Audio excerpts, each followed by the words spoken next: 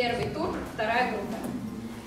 Пивоваров Павел, кларнет, музыкальный колледж Дальневосточного государственного института искусств, город Владивосток. Преподаватель Расулов Атабек Иргашвоевич, концертмейстер Кутузова Ольга Александровна. Вагнер – адажио для кларнета и струнных. Басси – концертная фантазия на темы из оперы Риголетто.